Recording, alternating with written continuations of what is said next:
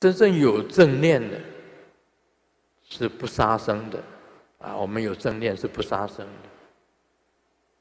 但是我们也是一样，虽然不杀生，但是我们吃的是三三净肉，没有听到声音，他被杀的声音，没有看到他被杀的时候。